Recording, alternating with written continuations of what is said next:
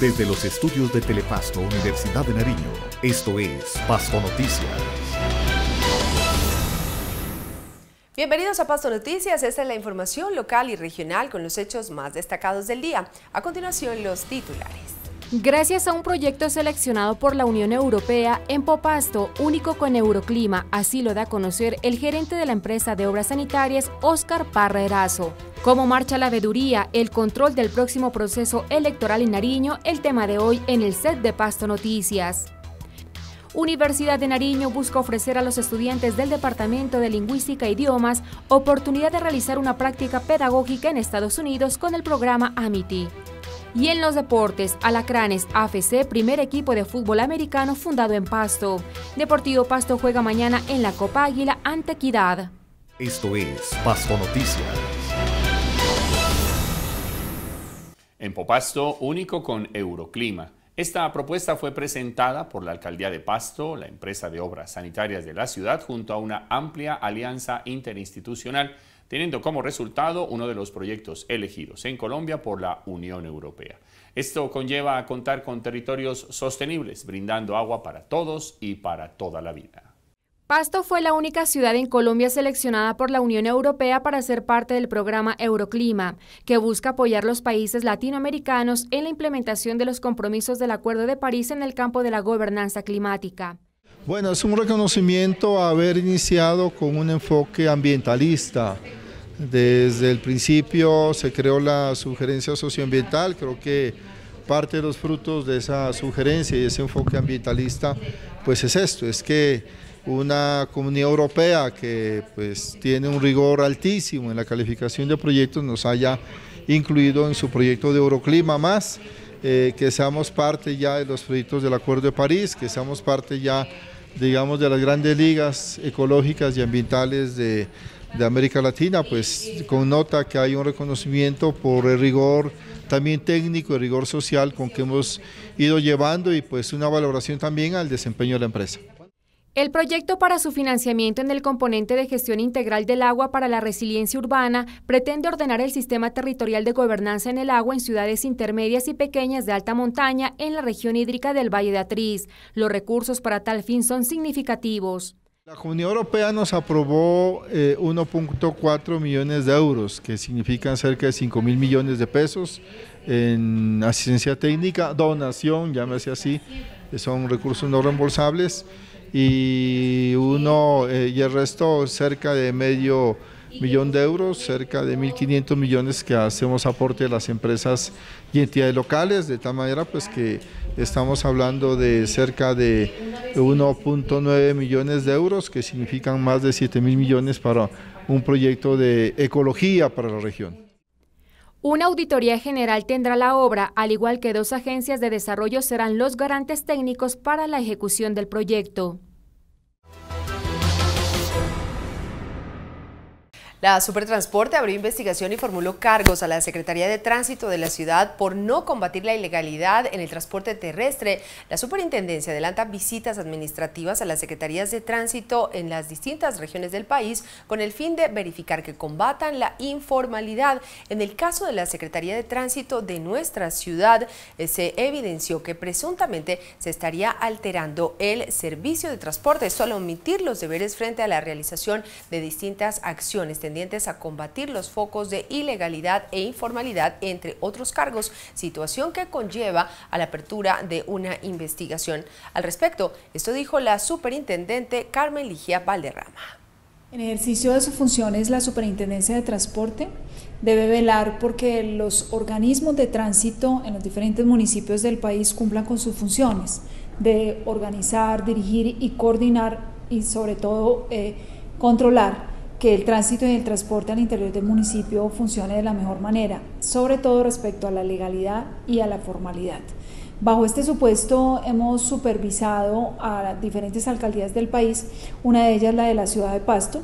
Para verificar esa información llevamos a cabo diligencias entre el 2 y el 3 de abril del presente año y de allí surgieron unas conclusiones eh, primarias que son las que nos han permitido en este momento abrir investigación contra el organismo de tránsito municipal de la ciudad de Pasto en razón a que aparentemente no están cumpliendo con su deber de tener una estrategia en materia de coordinación, dirección y control en materia de legalidad e, e informalidad. ¿Qué consecuencias puede traer esta investigación? En este momento ellos ya han sido notificados, de manera que están corriendo términos para que puedan presentar sus descargos. Por supuesto, respetaremos el debido proceso y el derecho de defensa que les corresponde. Y eh, al finalizar todo el proceso, una vez se haya escuchado a las partes, si es el caso hayan participado terceros interesados y haber practicado todas las pruebas, se tomará la decisión correspondiente. Esa decisión puede eh, terminar en un archivo o podría terminar en sanciones. Las sanciones podrían ser amonestaciones, es decir, generar algunos algunas deberes, algunas obligaciones para ellos, o inclusive imponer multas de hasta 700 salarios mínimos legales mensuales vigentes por conducta investigada. Pasto Noticias mañana abordará a miembros de la Secretaría de Tránsito del municipio. Esta es una noticia en desarrollo. El Instituto Amiti es una organización sin ánimo de lucro fundada en 1962, dedicada a construir puentes internacionales y generar entendimiento cultural a través del intercambio académico. La Universidad de Nariño, a través de un acuerdo, posibilitará que 14 estudiantes de español e puedan participar en este proyecto. El programa AMIT Internacional, que se logra a través de un convenio con la Universidad de Nariño, ha permitido que estudiantes puedan viajar a Estados Unidos y vincularse en un colegio por un año enseñando el idioma español. Los estudiantes aplican de acuerdo a su interés. Una vez ellos eh, eh, aplican a, dicho, a dicha institución, ellos hacen el análisis de su hoja de vida y posteriormente me autorizan para hacer una entrevista a cada uno de ellos y con base en el concepto que yo dé, ellos proceden ya a ubicarlos en las diferentes instituciones de diferentes estados de los Estados Unidos. Esta experiencia enriquece los conocimientos de quienes están en proceso de estudio de una segunda lengua. La experiencia que ellos tienen eh, tiene tres componentes. Un primer componente que es de tipo cultural, ya que ellos están inmersos en la vida no solamente académica, sino también de la cultura de una determinada población o ciudad. El segundo componente es el componente pedagógico, en el cual ellos tienen que estar inmersos en una institución. ¿Y qué quiere decir estar inmersos? Quiere decir que ellos van a estar trabajando durante 32 horas semanales como auxiliares de los profesores de tiempo completo. Y finalmente tienen la experiencia de vivencia con una familia americana. Eso quiere decir que a ellos allá los ayudan a ubicarse con una familia que tenga estudiantes en la, en la institución donde van a ir a trabajar y allí les dan la estadía y la alimentación. La Universidad de Nariño busca ofrecer a los estudiantes del Departamento de Lingüística e Idiomas que se preparen en una profesión en educación la oportunidad de realizar una práctica pedagógica en instituciones de primaria y secundaria en Estados Unidos. Sobre esta noticia, la Universidad de Nariño por varios años ha buscado ofrecer a los estudiantes del Departamento de Lingüística e Idiomas que se preparen en una profesión en educación en Estados Unidos. Estas son las experiencias compartidas de aquellos que viajarán y otros que ya cumplieron con este ciclo académico. Esta experiencia de intercambio cultural para enseñar español en instituciones educativas en Estados Unidos es una trayectoria certificada que contribuye en la formación profesional. Fui parte del programa Amity, Fui interno de español eh, en, el estado de Utah, en los Estados Unidos, más exactamente en la ciudad de Farmington. Estuve vinculado a una escuela de inmersión en español y de, todo, de toda la experiencia, lo que más podría resaltar es el aprendizaje eh, de la metodología de enseñanza, de la tecnología, el uso de la tecnología y la importancia de la exposición al lenguaje. María Ruales, Diana Benavides, estudiantes y egresada de la Universidad de Nariño respectivamente, por primera ocasión vivirán este intercambio de formación y a su vez en la tarea de enseñar. La experiencia eh, que estamos a punto de vivir eh, ha sido eh, muy gratificante eh, poder participar en este programa y todo es gracias al aval del profesor Jesús Alirio y todo su acompañamiento durante este proceso. Voy a tener la oportunidad de desarrollar mis, mis habilidades como docente en un colegio llamado Saru International School en el estado de Oklahoma. Es un colegio en donde buscan el aprendizaje del español como lengua extranjera. Entonces, mi primer objetivo será estar inmersa en ese, en ese, en ese instituto, enseñando mi lengua nativa a, estudiantes de, de, habla inglesa. Eh, creo que esta oportunidad será una experiencia muy enriquecedora porque eh, estoy, estoy todavía en el proceso de aprender inglés, entonces estar en contacto con esa lengua y sobre todo estar enseñando mi lengua y compartiendo con ellos mi cultura. Amity facilita oportunidades para educadores globales que deseen compartir sus conocimientos con estudiantes, escuelas y distintas comunidades. Fuerte repunte del dólar lo vuelve a acercar a los 3.300 pesos. La moneda estadounidense se negoció con fuertes ganancias en la jornada. El peso cayó casi medio punto porcentual a su nivel más bajo en ocho semanas. Esta es la actualidad económica. Indicadores económicos, tasa representativa del mercado 3.262 pesos con 81 centavos. En casas de cambio para la compra 3.189 pesos, para la venta 3.361 pesos. Euro 3.547 pesos con 78 centavos. Oro para la compra 136.951 pesos con 67 centavos el gramo. Para la venta 148.860 pesos con 84 centavos el gramo. Café 1 dólar con 3 centavos la libra. Hacemos una corta pausa con los mensajes que hacen parte de nuestra programación. Ya regresamos. Este contenido es publicitario. Artículo 10 de la Ley 680 de 2011. Circular número 30 de 2014. Autoridad Nacional de Televisión, ANTV. Sí, mi amor. ¿Usted sabe quién soy yo? ¿Usted sabe quién soy yo? ¿Usted sabe quién soy yo? Nosotros somos los que mantenemos limpia nuestra ciudad. Emas Pasto, siente tu ciudad, vive la limpia. Sistemas Palacios es Internet para todos 10 años conectando el departamento de Nariño. Con servicios de Internet, televisión, Wi-Fi, domótica, circuito cerrado de televisión, transmisión de datos, data center, seguridad informática.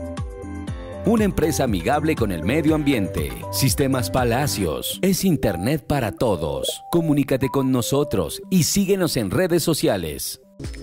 La empresa social del Estado, Pasto Salud S, pone a su disposición sus dos líneas telefónicas de call center para la asignación y cancelación de citas médicas, odontológicas, de enfermería, psicología y de todos sus servicios.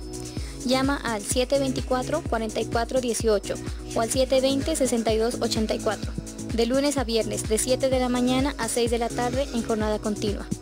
Pasto Salud S, sirviendo con amor.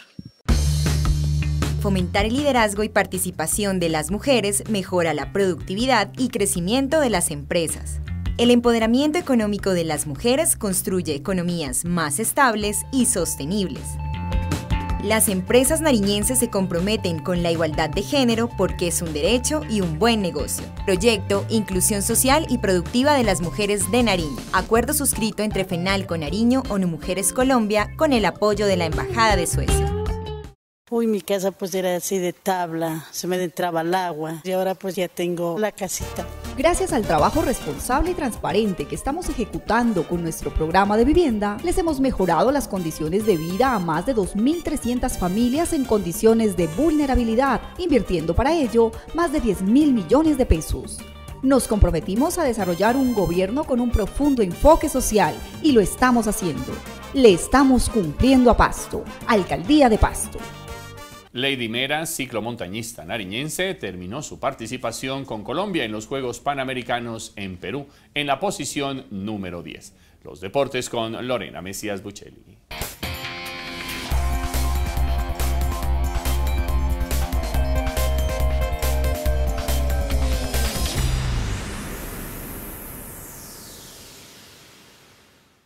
Hola, ¿qué tal? Estos son los deportes en Pasto Noticias. La historia del fútbol americano remonta hasta las versiones más primitivas del rugby y del fútbol, puesto que todos los deportes tienen su origen en algunas variedades del fútbol jugadas en Reino Unido a mediados del siglo XIX. Este deporte rude, de fuerza y bastante atractivo ya se practica en Pasto de 100 años en Estados Unidos, derivado del rugby inglés. Es uno de los deportes de contacto más competitivo y que se practica actualmente en más de 60 países.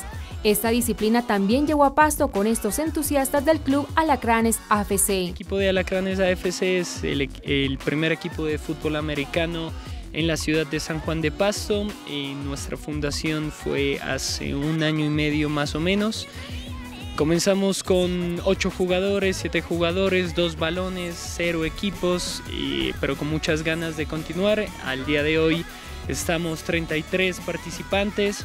Al igual que hace un año y medio tenemos la misma fuerza y el mismo corazón. En muchos colegios, universidades, hoy se practica el fútbol americano. En Pasto se pretende llegar a estos escenarios. Y si usted está interesado en aprender el fútbol americano, esta es la invitación, los horarios y lugares de entrenamiento.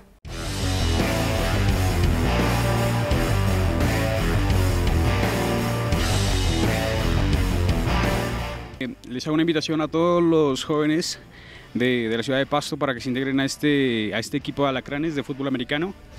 Eh, entrenamos de 8 de la mañana a 12 del día los días domingos eh, tenemos excelentes quarterbacks para, para tener un equipo muy, muy fuerte en todo y, y que siempre sea bien equipado. Y también entrenamos los días miércoles de 8 de la, de 8 de la noche, qué pena, a 10 de la noche en la cancha del Mercedario. Una invitación muy grande para toda la juventud de Pasto.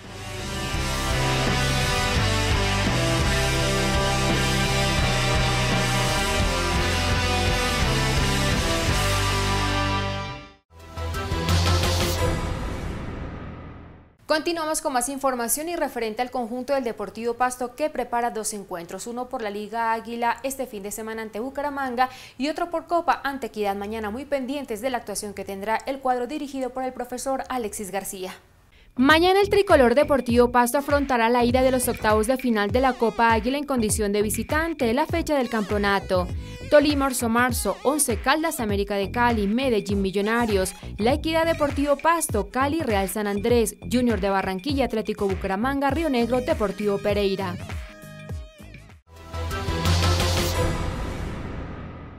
Y los amantes del buen microfútbol, en agosto, el gran evento de mil ciudades de Colombia, ya se conocen los equipos participantes y la sede. Todo está listo para el Mil Ciudades de Colombia de Microfútbol, sistema de juego y conformación de grupos del zonal departamental. Huachucal, Nariño, del 30 de julio al 3 de agosto del calendario 2019, Villa del Cacique, Huachales.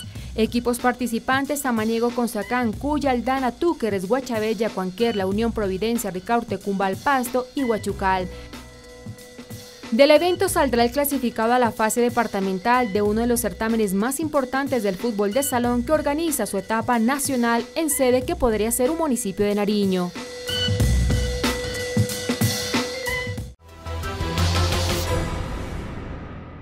Hoy se realizó el lanzamiento de lo que será en el mes de agosto la Vuelta a Nariño, un evento que comprende cinco etapas. Y por otra parte, selección sub-17 del departamento estará participando en Campeonato Nacional. Mañana el desarrollo de estas y otras noticias de la actividad física. No olvide visitar almacén oriental Shinho, que está ubicado en el Centro Comercial Galerías Locales 208 y 218. Hasta aquí los deportes. En Paso Noticias conozcamos el pronóstico del tiempo para este 31 de julio.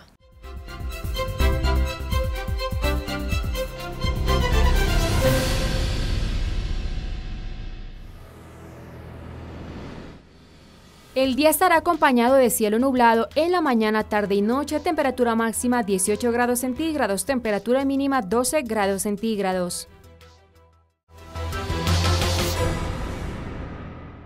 En el set de Pasto Noticias, ¿cómo marchan los comités de seguimiento electoral? ¿Cómo se está preparando Pasto y Nariño para el proceso con la democracia el 27 de octubre? Estos temas con el maestro Luis Alfonso Caicedo y su invitado, el delegado de la Registraduría Departamental, el doctor Claudio Pulido.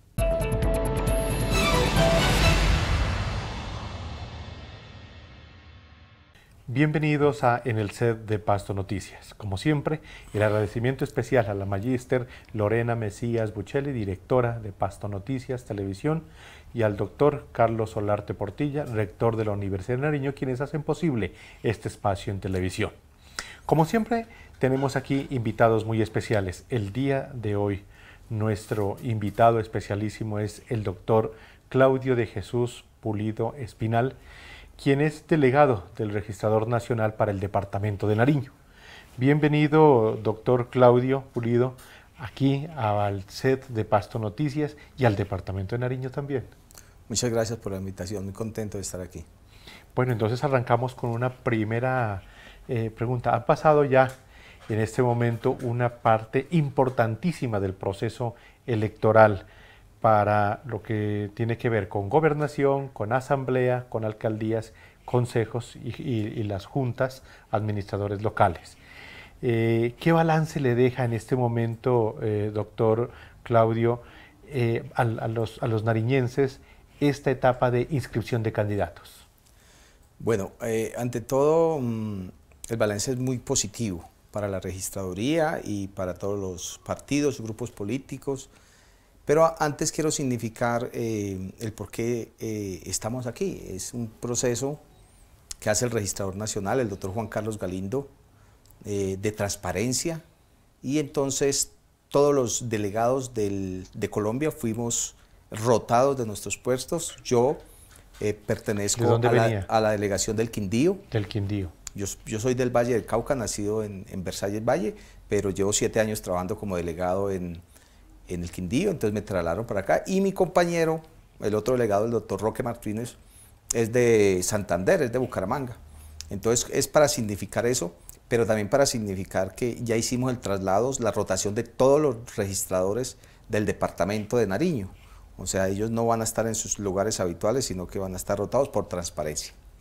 Bueno, ahora a, la pregunta que me, que me hace respecto al tema de inscripciones, pues fue proceso eh, que no tuvimos eh, mayores contratiempos. Mm, eh, la inscripción afortunadamente se hizo los últimos cuatro días, digámoslo así. El viernes fue un, día complicado.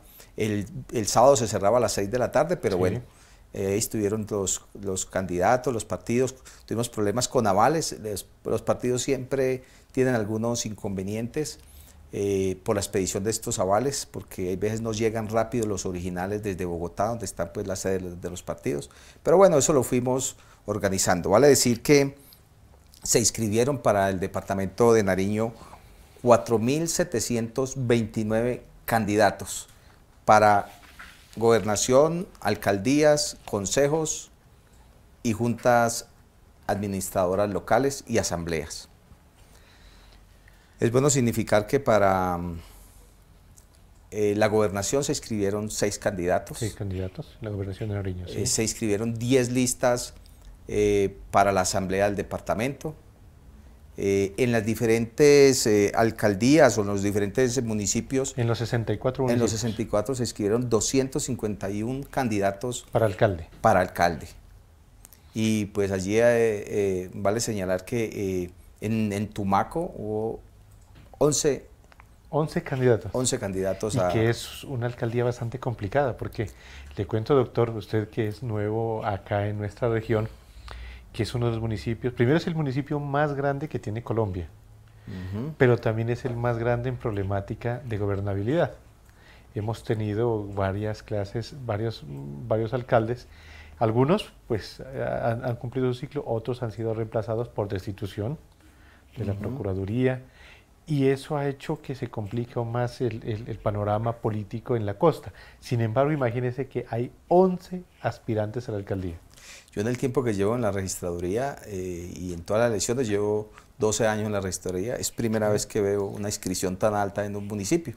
A mí me preguntaban que, que, que, si era bueno o no que, hubiera tanto candidato. A mí me parece importante que, la gente quiera participar y más aún en, en ciertos lugares donde pues hay confrontaciones, hay dificultades de, toda índole, pero bueno, eso es, eso es normal y esa es la democracia. y, precisamente y eso somos.